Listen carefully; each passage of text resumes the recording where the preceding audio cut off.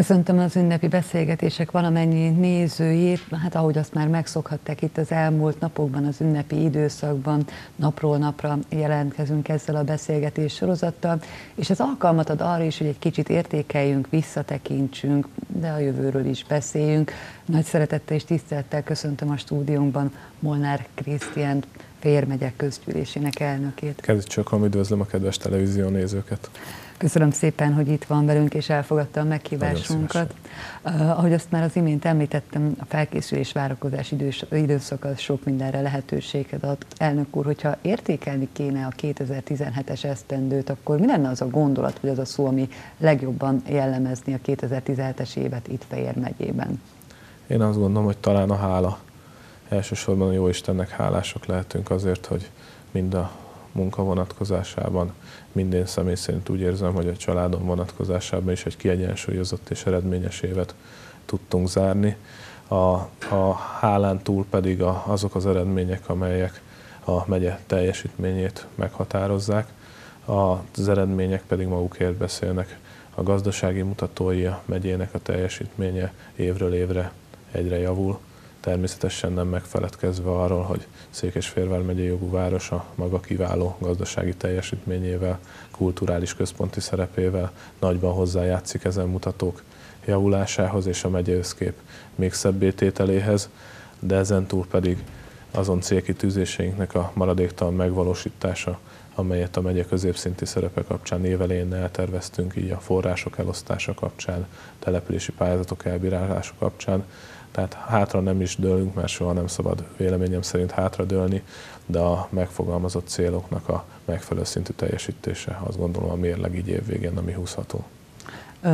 Korábban beszélgettünk már ugye a megye kétartúságáról, ez még mindig jellemző? A kétartúság jellemző álláspontom szerint csökken, folyamatosan csökken. Ugye Fehérvár és környéke, a Móri részek, Bicske és környéke megye északi része sokkal fejlettebbek, mint a déli térség, földrajzilag nézve, akár egyszerűsítve a képet az M7-estől lefelé délre eső részekhez képest, teljes más potenciál, teljesen más összetétel gazdaságilag munkaerő szempontjából.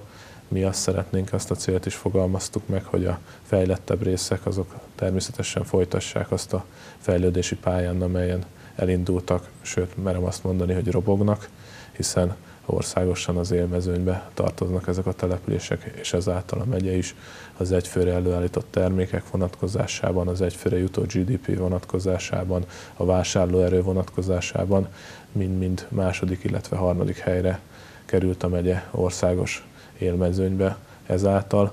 A déli térségben viszont egy teljes más jellegű profilú adottságok mellett a mai napig beszélhetünk munkanélküliségről, még ha ott is csökkenő munkanélküliségről, és főleg idén jellegű mezőgazdasági munka vonatkozásában. Ugye az északi részeken már nagyobb problémát jelent, furán hangzik, de nem a munkanélküliség, hanem a potenciális munkaerő hiány, és a déli térségben még látunk egyéb foglalkoztatási problémákat, mobilitás szempontjából problémákat, pont ezért szeretnénk a fejlesztések terén is a nagyobb hangsúlyt a déli térségre helyezni, és nem csak szeretnénk, én azt gondolom, hogy tettünk is e, ebben az irányban.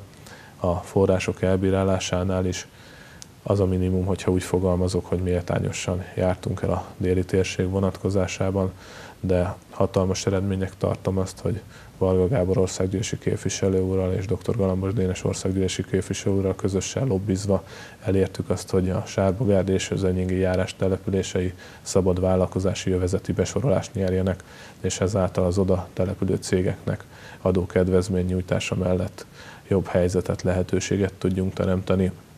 Mindennek az alapja a közlekedés, az úthálózat fejlesztés vonatkozásában is hatalmas összegeket fordítunk az elkövetkező időszakban a térségre. Ugye ez az északi fejlettebb részek szempontjából sem elhanyagolható, hiszen az ingázó, bejáró munkaerő bejutását segítendő ez az északi részekre is kihatással bír, és az iparfejlesztés tekintetében is konkrét lépéseket tettünk ipar, parkok létrehozására, fejlesztésére.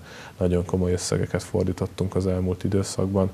Én azt gondolom, hogy nem beszélhetünk arról, hogy a déli térség utolérte az északi fejlettebb részeket, de arról beszélhetünk, hogy ez az olló nem nyílt jelentősen az elmúlt időszakban, és a különbségek azt gondolom, hogy csökkenni fognak a jövőt illetően.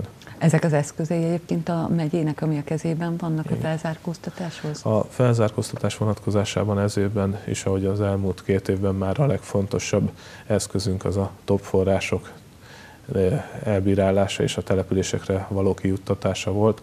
Ez a top forrás, ez a terület és településfejlesztési operatív program forrásait jelenti egy, egy rövidítéssel. Ezek a források a megye 106 települése részére álltak rendelkezésre, hiszen a két megye jogvárosnak külön forrásai voltak.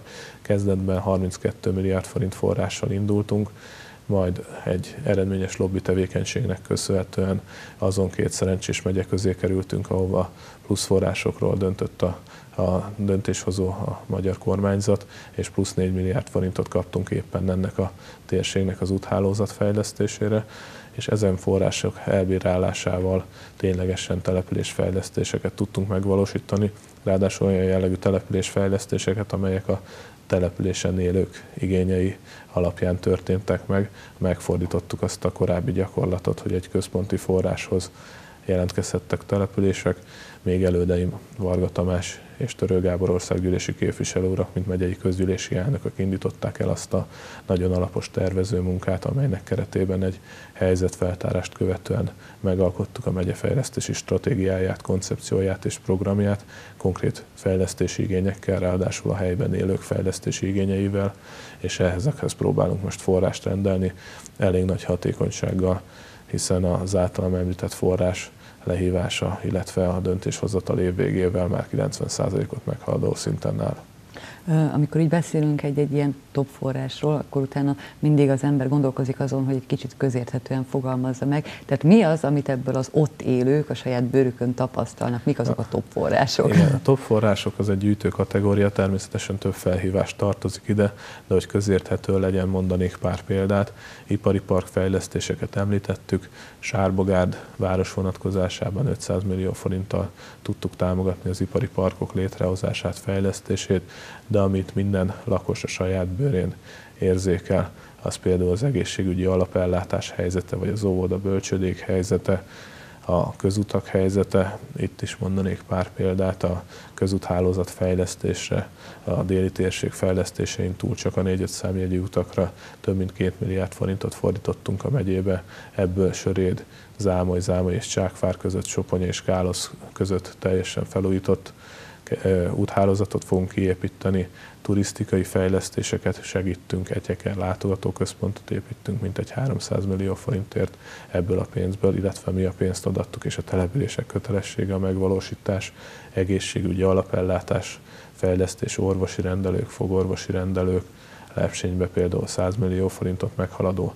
nagyságrendben fog tudni épülni új egészségház, óvodafejlesztés, Pákoznó 300 milliós projekt az óvoda fejlesztése, a foglalkoztatás fejlesztés, több mint 1,3 milliárd forint jut a megyei, megyei foglalkoztatási paktumra, melynek keretében a Fejér megyei kormányhivatal foglalkoztatási főosztályával és az ECO non-profit innovációs műhelyel közösen a megye munkaerő piaci helyzetét szeretnénk segíteni pont az említett kettőség feloldását, hogy egy, egyszerre van jelen, ellentmondásosan hangzik, de ténylegesen így van munkaerőhiány és munkanélküliség.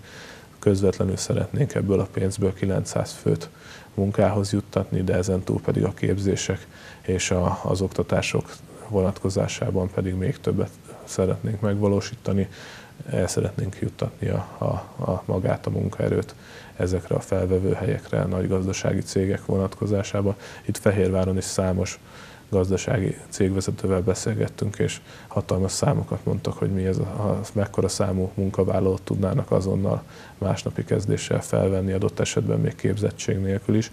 Hát ez a szép feladat hárul ránk, hogy akkor a keresletet és a kínálatot próbáljuk összehozni, de ezen fejlesztési forrásokból tudnak város központok is megújulni. Móron például a Zöldváros program keretében több mint fél milliárd forint értékben egy teljes új, szó szerint zöldövezetekkel tarkított településközpont fejlesztés valósul meg régi épületek elbontásával, de szociális alapszolgáltatás fejlesztés is ezen forrásokból valósulhat meg, kerékpárutak építése, településeken közlekedés, biztonság, forgalomszigetek, járdák, tehát ténylegesen olyan beruházások, amelyek az ottani élőknek a mindennapjait kísérik. Akkor mondhatjuk azt, hogy egy ilyen életminőségjavító csomag ez tulajdonképpen. Olyan, igen, olyan életminőségjavító csomag ráadásul olyan területeken, mint az egészségügy, mint az óvoda, az általános iskola, a közlekedés, amelyek, amelyek valójában az emberekről, a gyerekeikről, adott esetben a betegekről szólnak. Ennél lakosságközpontú fejlesztéseket én nem tudnék elképzelni jelenleg. Kicsit visszamennék én még a foglalkoztatás kérdésköréhez, említette a foglalkoztatás paktumot tulajdonképpen, ami már nagy hagyományokkal működik itt Fejérben, és akkor ezek szerint jó tapasztalatokkal és hosszú távú koncepció mentén dolgoznak. Igen, amit említettem, ez a mintegy 900 fő munkaerőpiaci helyzetének javítása, ez egy alapindikátorszám. Ennél sokkal túl és messzebbre mutatóbb terveink vannak, így az egész munkaerőpiaci helyzet átstruktúrálása segítése érdekében. Itt a szakmai munkát a Budai Attila vezette kormányhivatalon belüli munkaerőért felelős főosztály látja el, az ő szakmai tapasztalatukra támaszkodva egy konzorcium keretében valósítjuk meg ezt a megyei foglalkoztatási paktumot. Arról tudok itt beszámolni, hogy a kezdeti helyzetfeltárás és az értékelés szakaszán túl vagyunk, és most következik az a fázis, amelyben konkrétan már a gazdasági szereplőket, a munkáltatókat bevonva, természetesen minden olyan egyéb más szervezetet is bevonva, akinek releváns tudása, javaslata lehet a témakörben, kamarák, nagy önkormányzatok, képzőszervek, képzőszervek pontosan, iskolák, iskolák Kodolányi János Főiskola egyéb felsőoktatási intézmények, tehát minden ilyen szervezetet bevonva egy, egy, egy átfogó komplex fejlesztést szeretnénk ebből a több mint 1,3 milliárd forintból megvalósítani. Igen, hiszen akár az átképzés is megoldás lehet. Az, át, az átképzés is megoldás lehet, a mobilitás segítése is megoldás lehet, hiszen attól függetlenül, hogy a déli térségben fontos adott esetben új fejlesztési irányokat megvalósítani, de az ottani lakosság egy része akkor is Fehérvárra fog bejárni, dolgozni, és Fehérváron fog tanulni, tehát a közlekedés segítése, a mobilitás segítése, de az átképzés az mindenképpen egy, egy nagyon fontos terület, illetőleg a szakképzett munkaerő létrehozása. Említett még egy érdekes dolgot a zöld beruházások kapcsán, akkor a környezettudatosság is kiemelt prioritás? A, vagy az, hogy a jövőnk úgy alakuljon? A megye szempontjából a környezetvédelem egy eh, nagyon fontos célkitűzés. Ennek érdekében elkezdtünk tavalyi évben egy nagyon nagy horderejű klímavédelmi munkát, egy környezetvédelmi munkát. Pályázaton sikerült forrást nyernünk, amely forrásból létrehoztuk Fejér megyében a klímavédelmi platformot. Ez a klímavédelmi platform ez szintén egy, egy széles körű szakértői csapat a vízügyi főigazgatóságtól, a kormányhivatal szakigazgatási szervein keresztül, természetvédelmi, vízgazdálkodási szervek bevonása, civilek, itt is tudományos kutatómunka, felsőoktatási intézmények, önkormányzatok, mely alapján itt is egy helyzetfeltáró és egy stratégiai elemző munkát követően kidolgoztuk, illetve februárig kidolgozzuk a, a megye klímavédelmi programját. Ez a program egyrészt a jelenlegi helyzetet elemzi, és azon belül a jelenlegi káros hatások csökkentésére tesz javaslatot, illetőleg a jövőt illetően fogalmaz meg célkitűzéseket a pozitív elmozdulás irányába azzal, hogy februárban letesszük ezt az anyagot, nem fogjuk lezárni a munkát, hiszen maga a platform jogilag is legalább 5 évig működni fog, de ezen túl a klímavédelme tipikusan olyan témakör, amelyet a jövő irányába végzünk. A mostani tevékenységünk már nem remélni, hogy a jövő meg fog segítséget nyújtani, természetesen belátva a korlátainkat, hiszen a környezetvédelem az tipikusan az a témakör, amit megyei szinten, de még országos szinten sem lehet önmagában eredményesen megvalósítani, amíg azt halljuk, hogy egyes világhatalmak adott esetben nem csatlakoznak klímavédelmi egyezményekhez, vagy egyszerűen a széndiokszid kibocsátással nem foglalkoznak, addig, addig elég eredménytelen a kisebbeknek a küzdelme, a harca, viszont ha nem gondolkozunk lokálisan és helyben nem teszi hozzá mindenki a, a legjobb tudását és a, az ellátását a közös ügy érdekében, akkor viszont esélyünk sincs. Én azt gondolom, hogy, hogy helyben mindenképp így kell gondolkodnunk, és merjük remélni, hogy ténylegesen a jövő nemzedékeket fogjuk tudni ezáltal segíteni. Meg talán ez egy olyan téma, vagy olyan terület, ami mindig ad munkát, hiszen ez folyamatosan kérdés lesz. Folyamatosan kérdés lesz, és egyre eldöbbentőbb adatok látnak napvilágot. A túlfogyasztás napja is például egy ilyen adat. Az a túlfogyasztás napja, ez gyakorlatban azt jelenti, hogy Nyilván ez egy statisztikai számítás, ami alapján kivetítjük az emberiség rendelkezésére álló erőforrásokat napi lebontásba, hogy adott évben például eh, mekkora erőforrás mennyiséget használt az emberiség azért, hogy a nem megújuló energiák vonatkozásában nem merítsük ki a készleteinket. Eh, sajnálatos módon itt is évről évre egyre korábban időpontra kerül ez a túlfogyasztás napja, és idei évben május-június magasságában már határértéken voltunk, és nyáron már el is érte az emberiség azt az erőforrás kimerítés mennyiséget, amely gyakorlatilag az egész évben nyitva lett volna számára. Itt is bízunk benne, hogy lesznek alternatív megoldások, lesznek egyéb erőforrások, de, de mindenképpen egy intőjelez is. Megmondhatjuk, hogy minden beruházást ez a szemlélet jellemez, a környezettudatosság, hiszen hogyha most nem régiben volt ugye még decemberben szó arról, hogy például a kormányhivataloknak hét nagy épületegysége újult meg, és ott is mindenhol ez volt a szempont, hogy az energetikai korszerűsítés azért Igen. ott középpontban ez, volt. Ez is, egy, ez is egy nagyon fontos szempont volt. Természetesen itt a, ezen a hivatott projektek esetében még azt is egy nagyon fontos szempontnak tartottam, hogy közintézményekről lévén szó, az ott dolgozók és az oda ügyfélként betérőknek a körülményeinek a javítása is mindenképp megtörténjen, tehát nagyon fontos a, a káros anyagkibocsátás csökkentése, nagyon fontos a, az energiaigénybevétel csökkentése, ténylegesen 30-40 százalékos megtakarításokat fognak eredményezni ezek a beruházások, de számunkra mindig az ember az első ezekbe a projektekbe az is nagyon fontos, hogy az ott dolgozó több száz munkavállaló és az oda betérő több ezer megyei lakos illő és normális körülmények között tudja az ügyét intézni és végezni.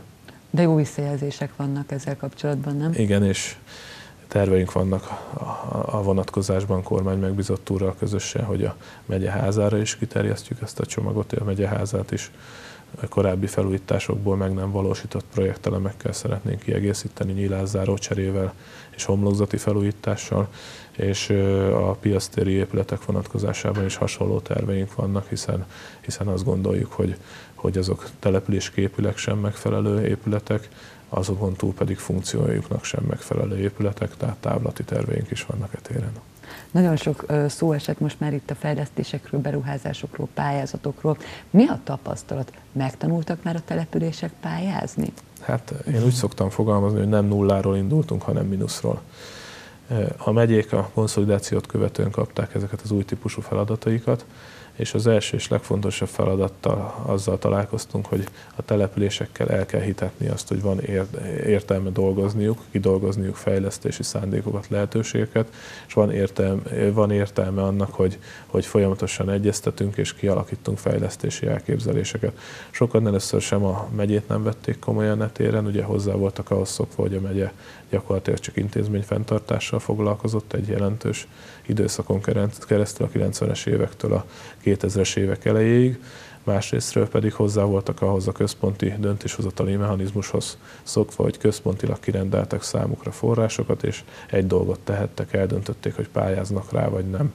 Most ez megfordult, pont annak a tervező munkának, amit említettem, elődeim Varga Tamás és Törő Gábor úr vezetésével egy olyan anyagot raktunk össze, amely belőlük alulról építkezve tartalmazza a fejlesztési szándékokat, javaslatokat. Ezáltal közelebb is tudtuk hozni ezeket a fejlesztéseket a településekhez, és aktívabban is részt vesznek. Mindig van egy-egy rossz példa. Most is van kettő olyan település, aki egyáltalán nem volt hajlandó pályázatot benyújtani. De miért nem? Nem az e- indokolják meg? Az, egy, az egyiknek az volt az indoka, hogy ő úgyse fog nyerni, több ízben személyesen is jó magam, de a képviselőtestületi tagokon keresztül is azt az üzenetet azt tudtam tolmácsolni és közvetíteni, hogy ha nem pályáznak, akkor valójában garantáltan nem fognak nyerni. Szerintem ez egy korábbi időszakból való negatív beidegződés főként. megjegyzem, ilyen esetben bennem felmerül az, hogy adott esetben egy polgármester vagy egy képviselőtestület, még hogyha a népőt négy vagy most már az új törvény szerint öt évre döntéshozónak meg is választotta, jogosult-e arra, hogy egy, egy teljes közösség, egy teljes település nevében olyan döntést hozzon, amivel a település fejlesztését gyakorlatilag elodálja de a jelenlegi önkormányzati rendszer alapján a döntéshozó az a polgármester és a képviselőtestület, de a polgármesterek nagy része nagyon korrekt és nagyon jó hozzáállást tanúsított. Itt külön kiemelném a két megyei város vezetőt, a két polgármester, dr. Cserpakovics Andrást és Cserna Gábort. Említettem, hogy ők úgymond külön kasszán vannak és külön forrásokkal bírnak a, a, a fejlesztések vonatkozásában. Ennek ellenére minden forrás felhasználást kölcsönösen egyeztettünk, belátva azt a nagyon egyszerű folyamatot, amit valamiért elődeink nem mindig láttak be, hogy a megyei jogú városok fejlesztése és a megye fejlesztése kölcsönösen kihat egymásra. Mi ebből profitálunk és, és a pozitív oldalakat vesszük figyelembe, de ugyanez a segítség és a jó együttműködés elmondható valamennyi országgyűlési képviselőről a megyénkben, akik a kezdetektől fogva arra törekedtek, hogy koordinálva, a településeiket összehívva, egyeztetve, ne egymással versengő és egymással rivalizáló pályázatokat alakítsunk ki, vagy egymástól négy kilométerre ugyanolyan jellegű fejlesztéseket, hanem ténylegesen egy egymásra épülő, egymást kiegészítő fejlesztési rendszert. Ennek köszönhetően, ennek a jó együttműködésnek köszönhetően én úgy érzem, hogy, hogy igazán elégedetlen település a 108-ból a megyében egy kezemen meg tudom számolni, hogy mennyi marad a végére, bízom benne, hogy ez ténylegesen így is van, de ezek a visszacsatolások, és azért a a települések nagy részére jut fejlesztési forrás, ráadásul olyan fejlesztési forrás, amit ők maguk szerettek volna. Immáron több mint 200 nyertes pályázat elbíráláson vagyunk től, és megközelítek 35 milliárd forintot ez évben ki is osztottunk. Innét rajtuk a sor, a megvalósításon a sor. Az is egy nagyon nagy segítség egyébként a településeknek, hogy a korábbi gyakorlattól ellentétben a támogatási szerződések megkötésével egyidejűleg amennyiben ezt a települések kérték, a teljes támogatási összeg előlekként azonnal a számlájukra utalásra is kerül, tehát fizikai és likviditási akadálya sem lehet a pályázatok megvalósításának. Már csak a kedv kell hozzá. A kedv, meg a maga a munka, tehát a, hajlamos az ember sokszor hátradőlni, én ettől szoktam óvaintani a polgármester kollégákat is, az nagyon jó, hogy X település nyert nagyon sok pályázati forrást, de nehezebb megvalósítani a projektet, mint megnyerni adott esetben egy pályázati forrást, úgyhogy hajrá. És az időfaktor sem mindegy. Az előző uniós ciklusban, a 2007-2013-as fejlesztési ciklusban láttuk azt, hogy áldász küzdelmet folytattunk az utolsó időszakban azért, hogy minden egyes forint lehívásra tudjon kerülni még a 15 év végén is a 13-ban záródó forintok lehívásáért küzdöttünk. Most el szeretnénk jutni odáig, és jó eséllyel is fogunk tudni odáig jutni, hogy, hogy január folyamán a, a 14-20-as forrásunk teljes egésze legalább támogatási szerződés szinten lefedésre kerül, és megvalósulhatnak a projektek. Akkor ez egy tudatos építkezés is mondhatjuk.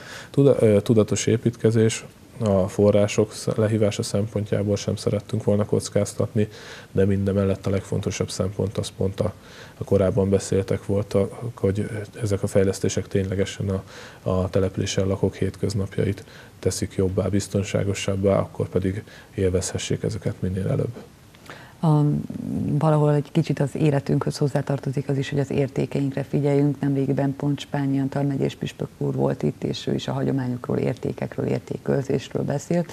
És hogyha egy kicsit párhuzamot vonunk, ez jelen van a megyében is, hiszen van az értéktár program, ennek milyen tapasztalatai vannak, és milyen értékek kerültek be. Az értéktár program nagyon hasonló tapasztalatokkal indult, mint maga a megye fejlesztési munkája itt is az első és legfontosabb feladat az az volt, hogy a, a települési affinitást kellett növelni, illetőleg a településeket kellett abba az irányba sarkalni, hogy, hogy azt az egyébként nagyon széles palettát Fejér megye, hála jó nagyon gazdag értékekben. Ezt a nagyon széles palettát mindenki a saját településén kezdje el összegyűjteni.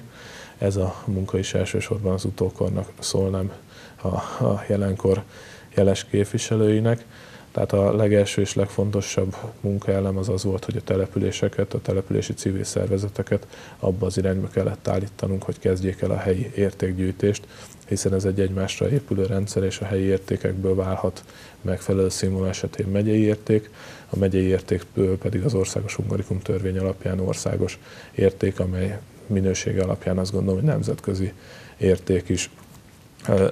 Nagy és fontos lökés volt az, hogy a, az elnöki tevékenységem első feladatai között megalkottuk a megyei értéktárbizottságot, mint hivatalos szervezetet, hiszen korábban is találkoztunk helyi értékekkel, a helyi fehér termék program például tipikusan ilyen értékekkel való találkozást jelentett, de nem volt egy olyan szervezeti forma, amely ténylegesen minősítette volna ezeket az értékeket, szigorú szakmai szempontok alapján elbírálta volna, és egy, egy értéktárgyűjteményt létrehozott volna, egy felülről nyitott értéktárgyűjteményt, amely folyamatosan fejlődik és bővül.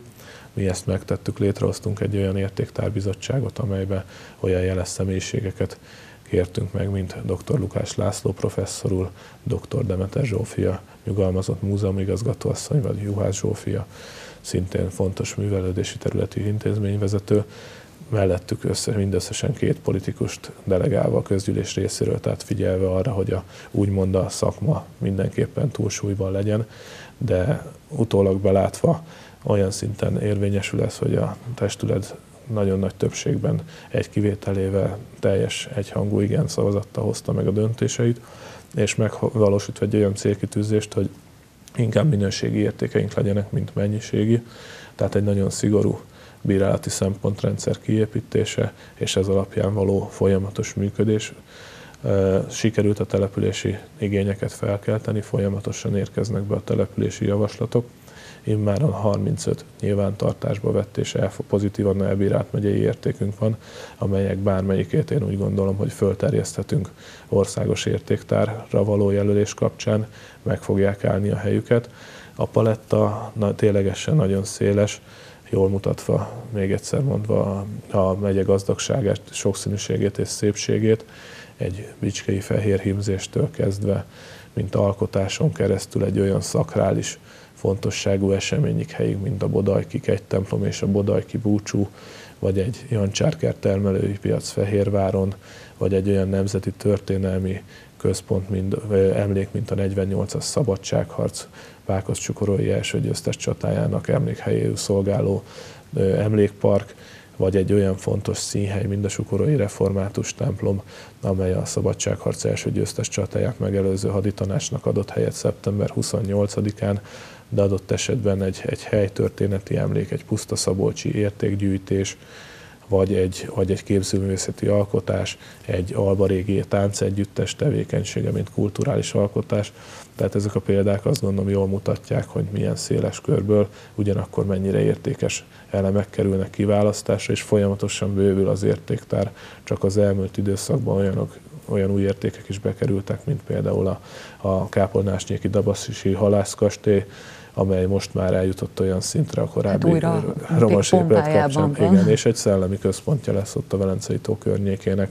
A korábbi romhalmazban már képzőművészeti alkotások, koncertek költöztek, Szent István dombormű, a mi szempontunkból ugye Szent István jelentőségét és fontosságát a magyarok szempontjából sem, de Székesfehérvár és Fejér megye szempontjából különös tekintettel nem kell hangsúlyoznunk, tehát szakrálisan is és történelmileg is egy olyan szellemiséggel bővült a, a paletta, és a bizottság folyamatosan ülésezik és, és dönt a nyilvántartásba vételre. Meg talán a keresztény gyökereinket is, ez főleg a napjainkban.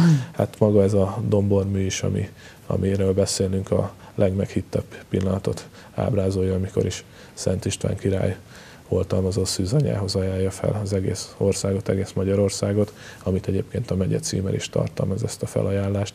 Szerintem ez a magyar történelem legszentebb pillanata, és én hiszek abban, hogy a magyar nemzetnek és Magyarországnak a sikere az ehhez a pillanathoz kezdődően nyúlik vissza, és innentől kezdve van az az oltalmazás, ami segítette azt, hogy azért a történelem viharai, amely jócskán kijutottak mind Fejér megyének, mind Magyarországnak, ugye, ahogy a versben is van, és a dalban is, hol labanc, hol török, hol tatár, első világháború, második világháború, 1848-1956, tehát sok mindent megértünk.